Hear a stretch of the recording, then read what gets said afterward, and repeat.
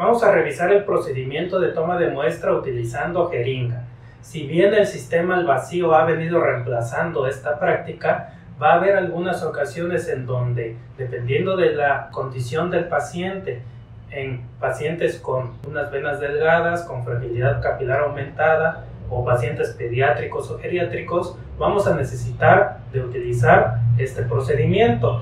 Por supuesto, en ausencia de otras opciones que permitan resolver, como el equipo alado o mariposa.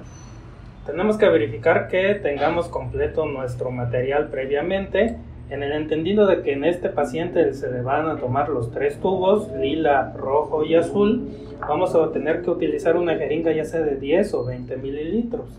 Contamos con torundas, tanto secas como alcoholadas, y es importante contar con nuestro desecho de RPBI y una pinza con estas características para que no reencapuchar y manipular la jeringa una vez tomada la muestra y por supuesto nuestro torniquete.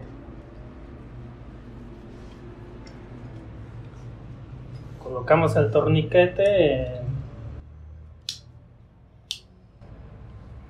pedimos al paciente que apriete el puño para que se pueda visualizar o sentir mejor la vena. En este caso ya la tengo localizada.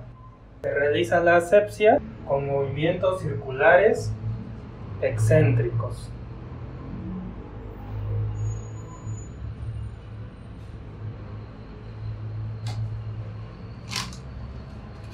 En lo que se deja secar, pues ya se prepara la jeringa, se abre ya que está pues bien estéril, se asegura la punta y se puede presionar el émbolo para asegurar que no haya eh, alguna obstrucción en la jeringa. Se desencapucha de esta manera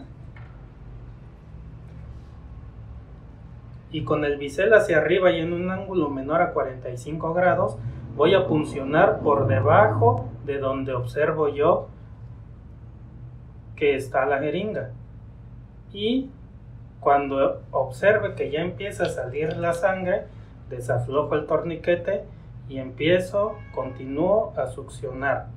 En este caso, a diferencia del sistema al vacío, en la punta de color de la jeringa puedo observar que ya estoy en vena porque se tiñe de un color rojo.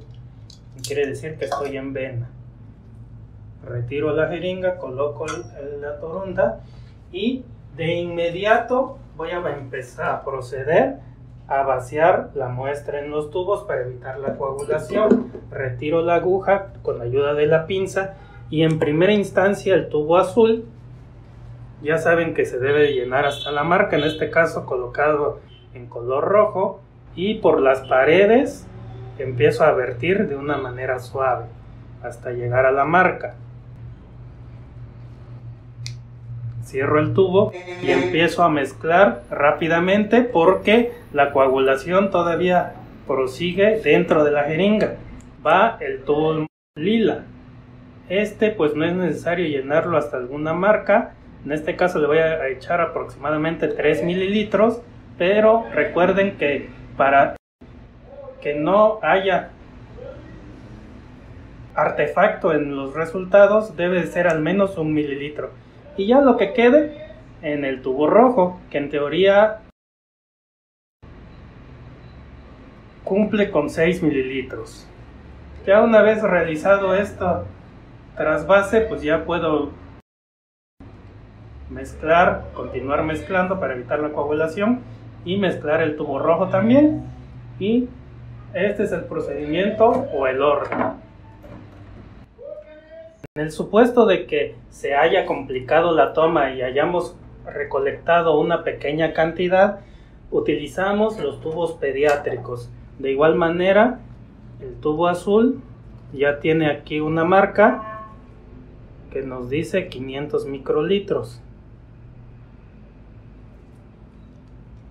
Porque obviamente si quisiéramos llenar un tubo azul con este volumen, pues en el azul se nos va a ir todo. Después el morado, en donde vienen dos marcas, en este caso con este fabricante, una de 250 microlitros y otro de 500 microlitros. Lo colocamos en este caso en una parte media y seguimos mezclando. Por último, pues el tubo rojo.